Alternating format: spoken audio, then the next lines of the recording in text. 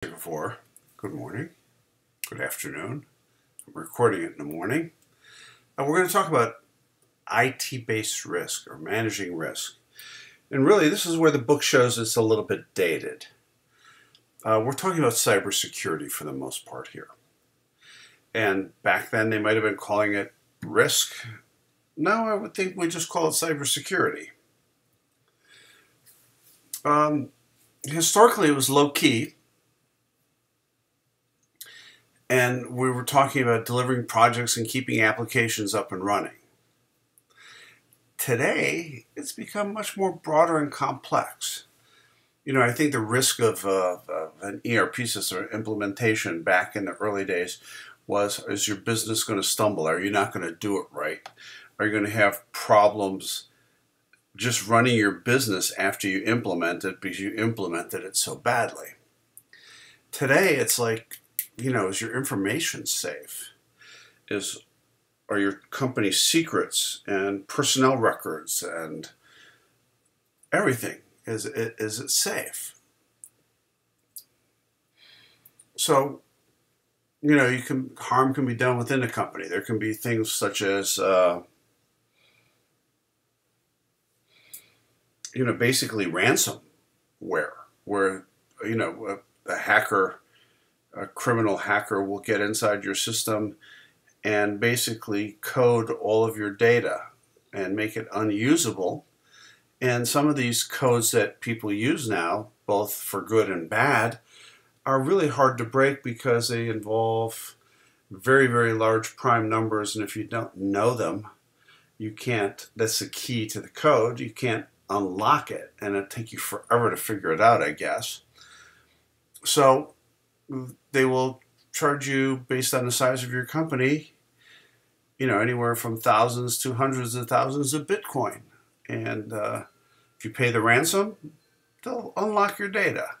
Now, many companies back up their data and can go back to another point, but it just depends how bad the encryption is and how bad your backup is. so the harm comes from within and without the company. If you get bad publicity, uh, or your reputation is tarnished. And it could, of course, hamper your ability to compete in the open market. So if we look at the external risks, they're looking at legal and regulatory hazards and third parties. And if you look at internal risks, you have your operations, your information management, and your systems development. I mean, you don't need to have your information hacked if you don't keep it up to date. It hacked itself. It made itself unusable. And then, of course, you have the governance of your system, the people, the processes, the culture, and controls. Risk uh, oftentimes is about the process, about the controls, about the information, and how you manage all of that on the inside once your system, I think we've gotten system development down to the point where it's pretty hard at a large company at least to have a failed implementation anymore or to have the system decay to a certain point where it's not useful. Then, of course, it's how you use it, the operations. But the real risks are third parties from the outside, I would think, managing your own information and having the proper internal controls. Well, if we talk about external risks, we're talking about partners, software vendors, service providers, suppliers, customers, hackers, let's put that. Uh, hazards are disasters, pandemics, geopolitical upheavals, um, and legal and regulatory issues, failure to adhere to laws and regulations, and dutifully, your system will keep fine records of what you did and didn't do. So, as uh, an inquiry is made by uh, a government office based on your inability to adhere to a regulation, they can verify it pretty quickly. Uh, when we talk about disasters, pandemics, geopolitical upheavals, is your system safe? Can you continue business? One of the things is if um, business is so dependent on information, information technology, You want to have it up and running at all times. So if something happens, if there's a hurricane, an earthquake, a pandemic, wow, they predicted what we're going through right now. Will your will you be able to still operate and function? Uh, geopolitical upheavals, uh, if there's a cut in electricity due to a hurricane or a geopolitical upheaval, will you be able to maintain integrity of your system and will it be able to run? And third parties, you want to know what they're doing if they're your partners, and you certainly want to block them from doing anything if they have nefarious purposes. So, if we talk about internal risks, uh, you want privacy, quality, accuracy, information. A university does not want all students to have access to all grades. Everybody would have a 4.0 average. Now, people risks, poorly designed business processes, failure to adapt the business process. We talked about that already a little bit, and we'll talk about it more uh, in another lecture. That it, if you don't have your best practice or world class business process, you will dutifully automate the transaction set that is suboptimal. Cultural risks, a risk aversion or lack of risk awareness. If you think, well, you know, I guess that's a cultural risk. Uh, nothing will happen. I'm eternally optimistic. We're an eternally optimistic company and people. Uh, we don't have to worry about being hacked. Uh, control. If you have ineffective controls, uh, your system becomes a sieve and then susceptible to hackers. Uh, many times, when in my uh, quantitative methods class, we use a um, Excel add-on that basically provides algorithms to solve some of the problems, and it's called Quantitative Methods, or QM. It's just a software program. It's kind of nice. It's nothing special. But uh, a lot of times when people use their work laptops for school, they're prohibited from adding any applications or software. And oftentimes people have to use a, a, a, private their own laptop rather than a work laptop because the controls are have gotten so tight that everything is locked. You know, you're locked into only what the company has provided you software wise. You can't download and run other software for the most part. And governance. Do you have the right governance? Are you paying attention? You've got everybody running around with a laptop, possibly a cell phone, that is a portal into your systems and how do you govern all that? How do you keep control of it? Governance and control. I think they're looking at separate. There's a tremendous overlap. So criminal risk comes from viruses, hackers, organized crime, industrial spies, terrorists. I haven't seen too much terrorism um, hacking, but we've seen uh, industrial spying, sure. And you wouldn't even know if they've industrially, uh, if you've been hacked by an industrial spy because they don't want to leave a trace. Organized crime, I think most of the hackers that are stealing information and selling it are kind of organized. The ransomware are kind of organized. And it's always a battle to find out what their latest gambits are and what your latest defenses are. And there's an entire industry has been built up about this. So if you're looking at risk, you want to focus on what's important you can't anticipate, I guess, all the risks, but attempting to reduce significant risk to a manageable level. That's a good thing to do, sure. Risk management is not saying no to risk, but saying how to say yes and thereby building a more agile enterprise. I don't know if it makes you more agile necessarily, if you're talking about, or makes you more a fortress, as in the case of the students with the work laptops. I look at it as, if we're talking cybersecurity, as I live in a neighborhood. It's a wealthy neighborhood, let's say, and everybody has nice things in their house and things that bad people might want to steal. I want to make my house a little bit harder to break into than the neighbor's house. If I succeed in that, a rational criminal is going to break into a house that's easier to break into that's the same kind of principle you want to do. And you got to be uh, the problem with with the IT version of that is you it's it, the landscape is continually changing. You have to be on top of it. There we go. Expect changes over time. It's continuous, it's iterative, and structured. A mandatory risk assessment should be implemented at different key stages. I think you have to have people that are thinking about it all the time and learning about it. So you have to have ongoing reviews, you have to evaluate your processes and what you need to change. You probably want to look at risk from certain, you know, different perspectives. If we go back to that original picture that we had, you want to consider all these, and you want to consider what are your biggest threats right now.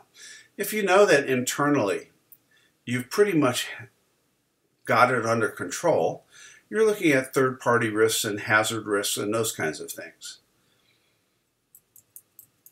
And I think that's where a lot of people are focused these days. So you want to monitor and adapt to new international standards and laws. You want to make sure that you're doing all the proper stress tests on your system to make sure that it's uh, able to do what it's supposed to do and will keep running. You want to have a drill where you fake, you know, you pretend like there's been a hurricane or a natural disaster and make sure that you can run. You want to do a check of your backup systems to make sure they're operating and, and reliable and how often you want to back it up. Do you want to back it up every month? Do you want to back it up every week, every day, every few hours? There's cost implications to that, but it's like insurance. Do you are you willing to pay two thousand dollars a year to insure your car or cars? Well, if you have an accident, it could cost you a lot more. So, what's the risk of having an accident? two, three percent, and you're paying two thousand dollars to save uh, maybe ten thousand dollars in repair, is that an acceptable risk to you? So the same principles apply here. So the goal of risk management is to ensure the right risks are being addressed at the right levels and at costs that you can are willing to pay. So the risk management framework guides the development of risk policies, and integrates appropriate risk standards and processes into existing practices. So this is not something that everybody's concerned with in the company at all times, but and, and of course like even your insurance people, every company, a larger company probably has some people that are just worried about liability insurance and product liability insurance and all of those kinds of things. And most workers in the company are unaware that it's even happening. I think the same thing kind of sort of applies here. Uh, you notice the theme that I see is uh, the things that apply to IT are parallel to things that companies are already doing. They just have to focus it on IT, like the budgeting process, like risk management. Now here's a basic framework. So what's the category, what's the policies and standards, what's the risk type, who owns it, what's the mitigation, what's the reporting and monitoring. This a general area of enterprise risk, criminal operations, third party. We outlined that in that same diagram earlier. Most of the time, I think now people are talking about outside criminal kinds of activities that's the the seems to be the the top of the list for risk management these days. So you want to have some general principles for guiding your risk decisions. What what what do we want to do? How do we want to approach this? We want to maintain our data. We want to maintain our, our system to be able to operate and our business to continue to, to function. It's probably a good place to start. Each risk should be identified and labeled with a generic name and definition. Well, I think we've probably standardized that to this point, and you could probably even go and get a consultant that will help you frame all this. Of course, they're going to frame it in a language they're familiar with. And who owns it? Well, uh, oftentimes, if you're talking about outside risk, I think that's pretty much an IT thing.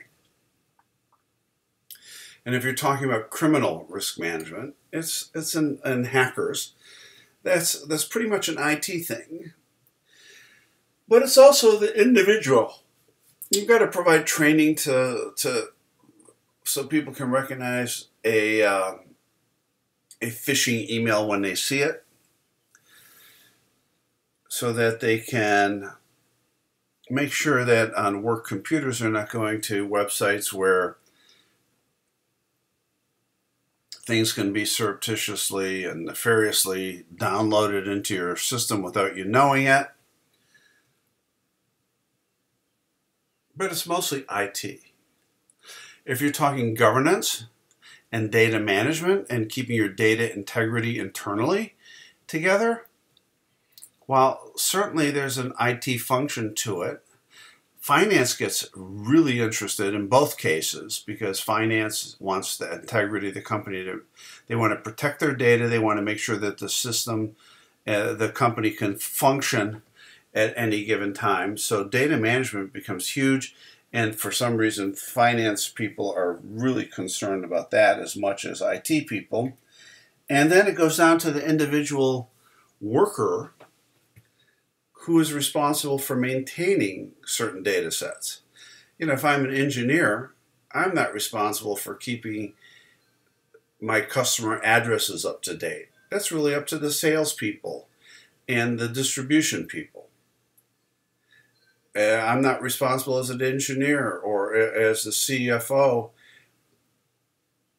to keep everybody's social security. Well, I probably would want that to happen but I've got to make sure that everybody's marital status and and how we manage our benefits are, is up to date. I've got to make sure that all the addresses names, terms and conditions of all my suppliers are up to date. I've got to make sure that the bill of materials for all of my products, how they're palletized, how they're packaged, weights, dimensions, and if you have tens of thousands of products and you have bills of materials like seven layers of them, uh, seven iterations of them, you've got to keep it up to date to the latest one. And bills of materials can become complicated. That's the recipe of what you're gonna, what you need to build a hard drive, or to build an automobile engine, or whatever the case may be, a bicycle, or uh, a cell phone. So there's a lot of work to be done in maintaining and because the system is only good as the data that drives it. So data management is a huge thing. I think people have that probably 10 years ago, 12 years ago, it became a huge issue. You put all this money into systems and data management suddenly became an issue because people weren't maintaining the data well most of the time it followed a scenario something like this. Uh, you implement a new system, people look at it and say, this darn thing doesn't work. What they meant was, this darn thing doesn't work the way I was used to the old system working, therefore this system doesn't work. Well, when people believe the system doesn't work, they're less likely to do the tedious parts of the job, which are like make, making sure you maintain the data. If the system doesn't work, why should I update the data? The darn thing doesn't work anyway. Guess what? When you don't update the data, it becomes a self fulfilling prophecy that the darn thing doesn't work. And if you neglect it too long, you end up with a data cleansing that's almost akin to relaunching the entire system. And it could be very costly. So major risks can be owned by committees, they can be owned by uh, functions, they can, and to a certain extent, when I'm talking about data management, it has to be controlled by and, and the responsibility of the user base. Risk mitigation. Okay, so now that we've we know what the risks are, what actions are we taking to mitigate those risks? And what are the costs of those actions? So really the level that you want to mitigate it is predicated a little bit on how much it costs. You don't want to spend, you know, might be easier if insurance gets too much, health insurance gets too much, companies self insure. They don't need a healthcare system. I'll, I'll put some money aside, I'll put it into a fund, and I'll use the same um, health databases that you do to figure out how much I think I'm going to be paying for major surgeries, et cetera, et cetera, and I can self assure. I think Amazon does that to the point where Amazon is about to become a life a health insurance company. Crazy. But that's what Amazon does. So, how much is it going to cost to, and what level of mitigation can we afford or are willing to pay for? Uh, reporting and monitoring. Well, it's no use to mitigate it, no use to do all these other things if someone is not going to pay attention to it and ensure that whatever you're planning is done properly and that it's effective. You'd like to know how many times your system was infiltrated. If you're talking about cybersecurity, how many times was it attempted? It's almost like each attempt is an opportunity to deflect it. Every intrusion is a defect. What's your defect rate for the number of times? So you, you have intrusions divided by the number of attempts. You want that number to be as low as possible. It's a key performance indicator, a perfect one for this, and you want to drive it down. I would imagine after a while, if hackers are realizing they're unsuccessful at your company, even your incident rates, uh, your attempts to hack into your system should go down. That's what I say. But I'm not an expert in that. So, actions to improve risk management. You want to look beyond the technical risk, uh, develop a common language because guess what? Uh, and, uh, simplify the presentations and uh, I guess you want to right size the number of people that are looking at it and the number of people that are susceptible.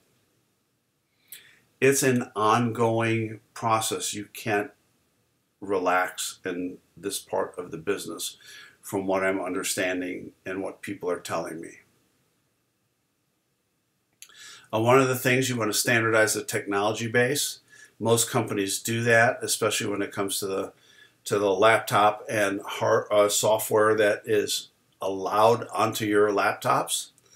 Uh, you want to have some rehearsals. You want to maybe even hire uh, consultants to try to hack into your system. You want to uh, make sure the roles and responsibilities in this regard are clear. Uh, even North Park has had some trouble with phishing emails and have had um, training videos that we've all had to watch and adhere to.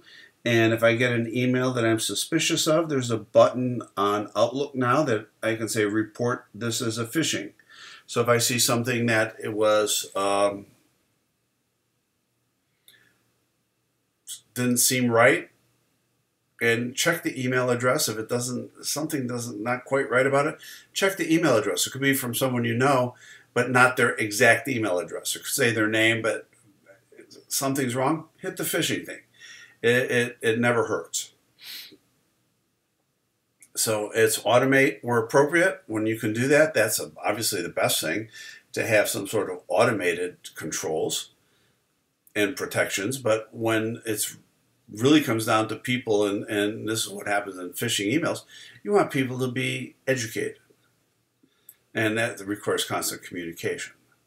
So IT risk is involved in many types of business and therefore should be managed well over time and how that ma- is managed evolves. And you probably want to have an integrated risk management framework. I think if we look at the integrated risk management framework from 12 years ago, uh, probably good implementations and data management were probably higher on the list and now cybersecurity has probably passed those up as we've probably gotten a better handle on those. Well, thank you very much. and we'll talk again.